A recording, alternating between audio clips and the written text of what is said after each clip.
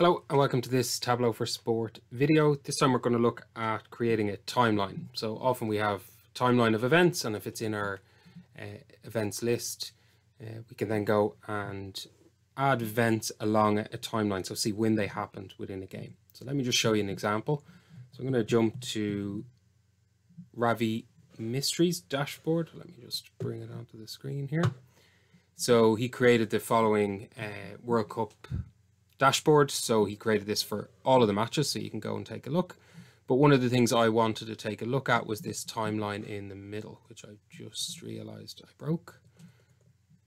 Yeah, so this timeline here in the middle. So you can see he's got a, a shot timeline looking at the total shots taken in the game, cumulative, and then he's added in where the goals have been scored as well. So I just want to look at how we would create this in uh, our own Tableau. So we're going to use the 2019 Champions League final as we have been for most of these videos. And we're going to create the following. Okay. So in this case, rather than total shots, I'm going to use expected goals. So the line here is the expected goals along the way. And then we have the goals scored at various different stages. Okay, so that's what we're going to do here. So let me create a new sheet and I'm going to connect to a clean set of this data. So I'm starting from scratch. If you've been following the videos, again, your data might look slightly different. You might have some of these steps already done, but for those just picking this up new, I wanted to start from scratch. So let's go 2019.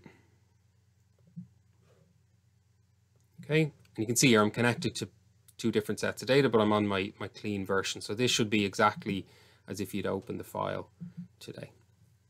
Okay, so the first thing is I have to just check my data and I know that there's a couple of fields here that are, are tagged wrong. So minute, for example, has an ABC beside it, but this is really a whole number and it should be a measure.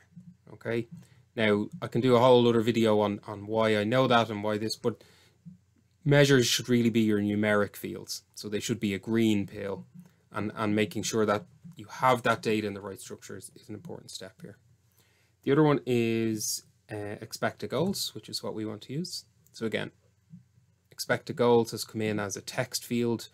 Uh, this should be a decimal number. And again, it should be green. So I want to drag it in to be a measure. You can also right click and convert to dimension or measure. It'll swap those around. Okay, so these give me my kind of first two fields that I want to work with. So let's start building. First one is minute. I'm going to drag it out. And again, I've shown this in other videos. When you drag a measure or a numeric field, a green pill out, Tableau wants to sum it or average it or, or do something like that. You don't always want to do that. I don't want to sum up every minute. So imagine that's a thousand events and it's summing up every single minute of the game. I just want this axis to be a list of the minutes. So instead of being a, a measure, sorry, it's going to be a dimension. So it's going to give me a list a unique list, I suppose, of every minute. So this should change to like 0 to 90 or thereabouts. Yeah. So we've got injury time, obviously. So that's the first step that I'm looking at. Now I want to look at expected goals. Okay, so at each minute, it's summing up the expected goals. So minute one for the entire match, the sum of expected goals in the first minute was 0.76. And you can see there's kind of spikes along the way and it's tried to join, join up dots and whatever, which we'll, we'll fix in a minute. But not every minute has a shot, so not every minute has an expected goal. So that's why the line is, is broken here. Now we do want to look at this per team. So I'm going to get my team name onto color. And let's just fix the colors so they're a little bit more intuitive. Let's go Tottenham green this time. Okay, and the way it's done in the example that Ravi built, so Ravi here, uh, built is that it's cumulative. So it's, it's adding up.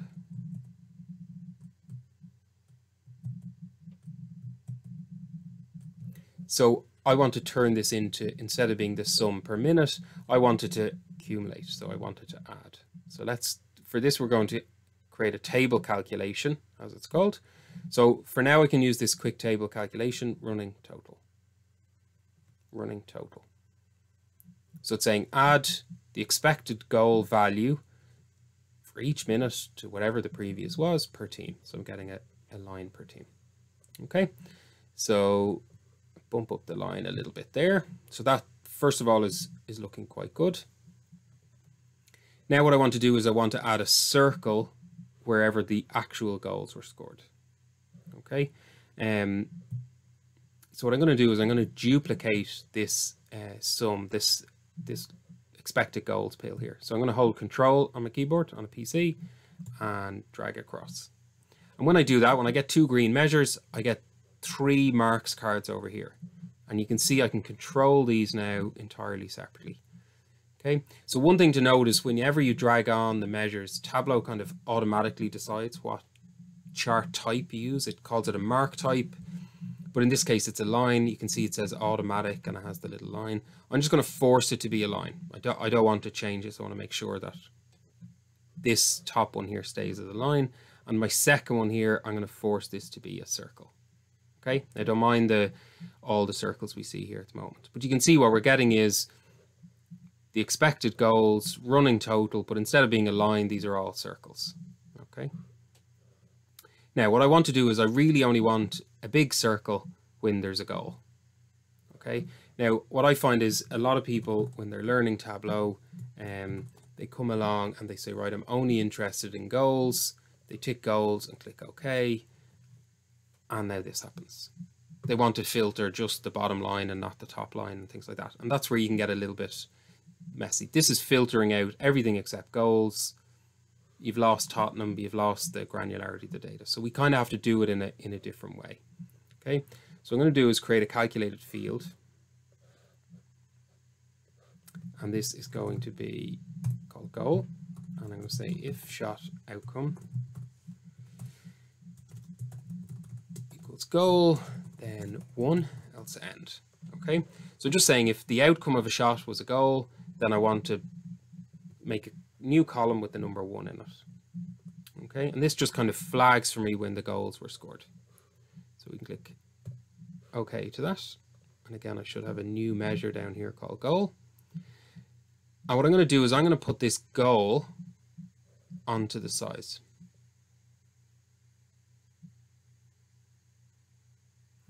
And in our calculation, what we have, what this is returning is basically if it's a goal, it'll return one. And if it's not, it returns null.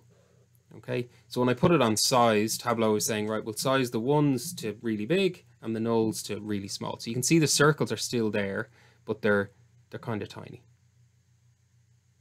Okay, uh, now I can readjust the size a little bit, but I've kind of got what I want here. All right, so now what I'll do is I want to put these dots on top of the lines. So I'm going to come up to the second green pill at the top, dual axis, puts them on the same axis. Now I'm just going to right click and make sure you do this is to synchronize. So the 1.2 on one axis should line up directly, which it doesn't at the moment. Okay, so it's not the default. They don't synchronize by default. So just make sure you add that in. So now we can see how how that begins to look. We've got a circle for when the goal was scored uh, hovering over and then we've got all and the the little circles are actually there. Yeah but they're just so small they, they blend in with the line.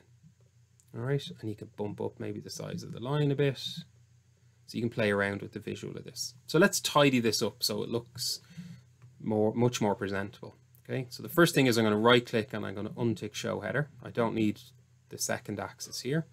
And then let's tidy up the axis. So I'm going to double click on that one I'm going to get rid of the title of it. We can leave everything else on that, I think is fine. This one down here, I'm going to get rid of the minute title as well. Uh, I'm going to fix the axis. So you see here, it automatically starts at minus five. I don't think that's necessary. Can't start a game at minus five, but I'm going to give it just a little bit of breathing room. So I'm going to make it minus one. So that gives me just a little bit and we'll make the end automatic. Now, why would I make the end automatic is because the game could be longer. I don't want to fix an axis at 95 minutes and the following game's 97 again. So I'm going to fix the start, but leave the end be whatever the, the data says it is. Now the tick marks I might change here to be every 15.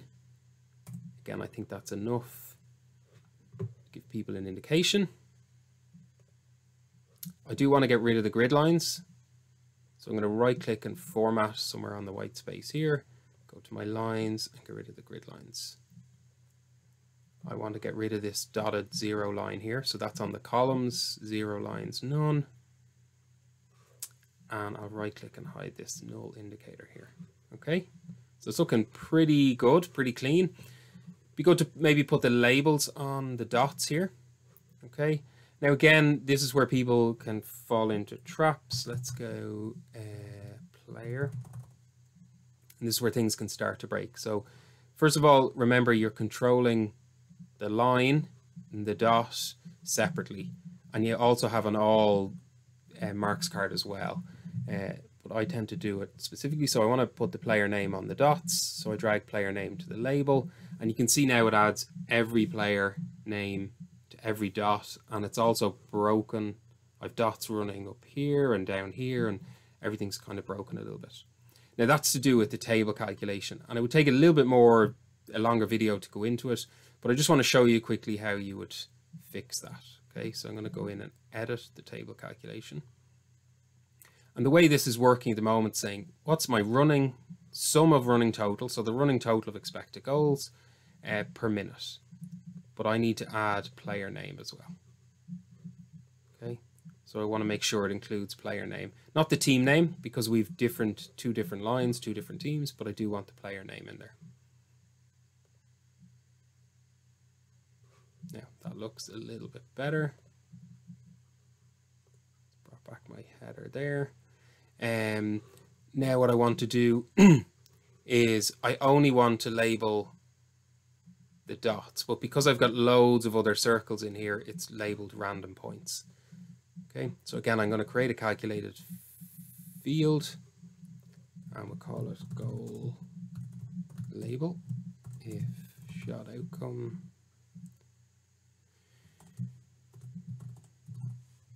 name equals goal, then return the player name. And again, end means it'll be null otherwise. Actually, I should have done this first because it's going to break again. So go label. And it's broken here because I'm now computing this on something that doesn't exist. So go label is actually what I want. So now that looks much cleaner and let's just format that and put the label on top make sure it's centered uh, I might match the mark color so we know what team it is yeah I'm happy with that and then one last change I might make is just I'm going to label the end of the lines here so that they have the total or the finishing expected goals numbers here. So the way I can do that is just control again, copy this pill onto the label of the line and see how ugly this looks. Go into the label box. I want to label the line ends, just the line end. Okay, so again, you can format this. Uh, let's make this bold, 12, and again, match the mark color. Makes it easier to understand.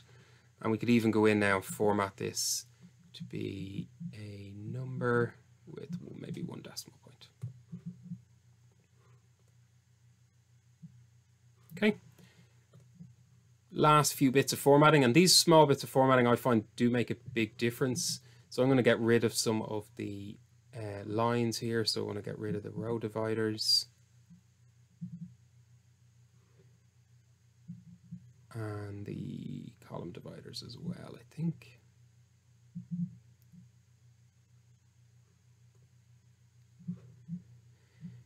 Okay, and then we can put in a title. So put in a proper title. So we can say running.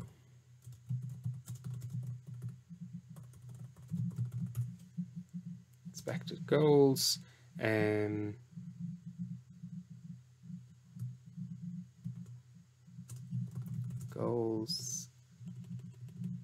or circles goals. Okay, I'm just going to make that a little bit smaller, so we might make that a 12, and we'll make this nice and bold. Okay, so now running total of expected goal. We can see the ebb and the flow of a game, along with the actual goal scored, the player marked over it, and that kind of stuff. You could tidy up the tooltips and a few other bits like that. But I think that's pretty close to what Ravi uh, was able to create here in his running shot timeline. We've done something similar here with the Champions League final 2019. Okay, thank you very much.